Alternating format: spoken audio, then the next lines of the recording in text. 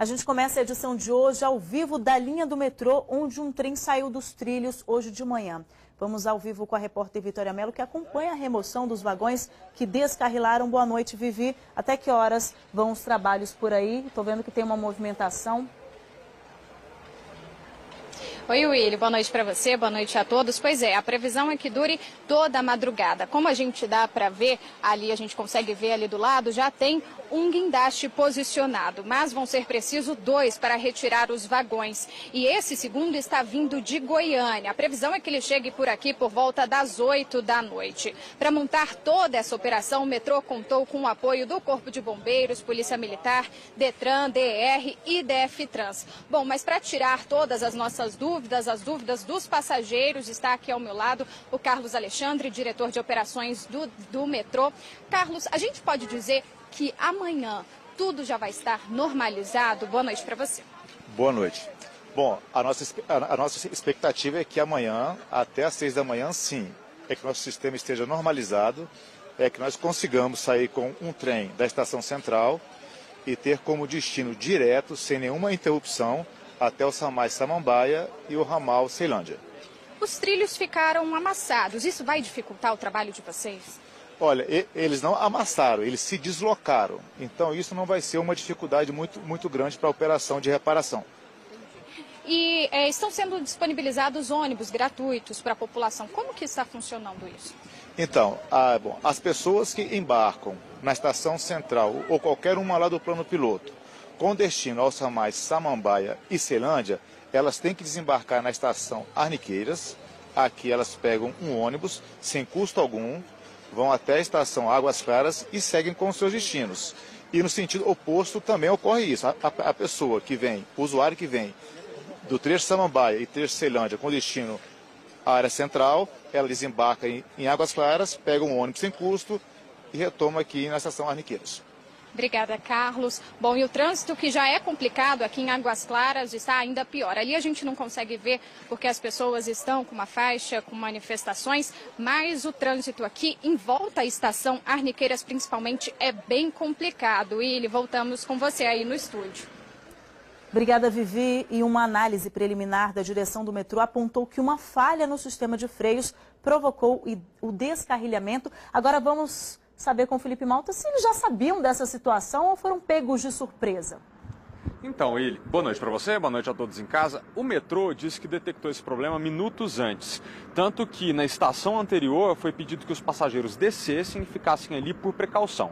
A partir de então, esse trem seguiu vazio, estava indo direto para manutenção e foi nesse trajeto que o acidente aconteceu. Agora, o sindicato dos metroviários diz que as falhas frequentes na operação do metrô aqui no Distrito Federal se deve à manutenção precária que esses trens têm recebido. Esse sindicato afirma que a frota está ficando cada vez mais velha e, para piorar, quando é preciso consertar algum trem, o metrô compra peças usadas ao invés de peças novas. Vamos entender com mais detalhes o que aconteceu hoje de manhã. A composição tinha quatro vagões. Dois tiveram problemas nos freios quando o piloto fez uma manobra para retornar. Foi então que três vagões descarrilaram. Para o usuário do metrô, enfrentar problema não é coisa rara. O metrô é rotina. Isso aí, geralmente a gente vem e está fechado. No fim da tarde chegaram os guindastes para realinhar o metrô. Vários carros estavam estacionados na área que as máquinas precisariam ocupar. O Detran tentou contato com os donos dos veículos para que fossem retirados dali. Como poucos apareceram, foi preciso usar uma empilhadeira. Levantar vagões que pesam 40 toneladas cada um é uma operação delicada. Nós estamos com um aparato aqui de pessoal, viaturas, equipamento para dar suporte e segurança a essa, essa operação, né?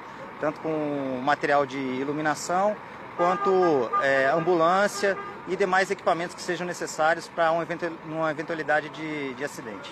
Sem saber o que tinha acontecido, Márcio teve de se virar para ir ao trabalho hoje de manhã. E ele reclama que, não bastasse o metrô dar problema com frequência, os moradores de Águas Claras não têm outra opção. A população de Águas Claras não pode ficar refém de usar apenas o metrô. A gente não pode ficar só com o metrô. Tem que ter outras alternativas.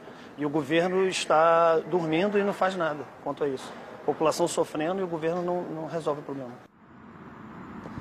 Pois é, o metrô tem 170 mil usuários por dia e quando um problema como esse acontece, as consequências são muito desagradáveis, né? Porque o sistema público de transporte aqui no Distrito, Distrito Federal, perdão, já funciona no limite, no laço. Quando está tudo normal, já falta metrô, já falta ônibus, então imagina o caos que estão passando os moradores lá de Águas Claras e todo mundo que usa o metrô. Agora, para quem tem o conforto de poder recorrer a um carro numa situação como essas, o nosso aviso é que hoje as faixas exclusivas da EPTG e da EPNB estão liberadas até as 23 horas e 59 minutos. E quem por acaso tiver usado essas faixas hoje de manhã não vai receber multa. Com você, Willy. Imagina a complicação no trânsito, hein, Felipe? Obrigada. E como o Felipe disse ali na reportagem, depois do incidente, um bom trecho ali da linha férrea foi interditado. Mas o metrô continuou funcionando, só que com interrupção. Vamos entender melhor aqui no telão? O acidente foi aqui, ó, o incidente, na verdade, entre as estações Arniqueiras e Guará, esses dois pontos. Ao longo do dia, todo esse trecho que vai do Guará até a estação é, Águas Claras foi desativado. Às quatro da tarde, a linha do Guará até Arniqueiras foi liberada. Ficou paralisada apenas entre Arniqueiras e Águas Claras, que esse pontinho aqui no mapa, dá para ver aí em casa, né? Foi apenas um trecho de um quilômetro e meio, mais ou menos. Agora, para que os passageiros seguissem viagem, como o diretor falou, o que, que o governo fez? Disponibilizou ônibus para que o usuário faça o trajeto entre as duas estações, essa baldeação aqui. Então, eles fizeram, eles fariam o embarque de novo, seguiu viagem, nos dois sentidos, tanto para quem vai para Ceilândia ou Samambaia, quanto para quem vai para a rodoviária do plano piloto.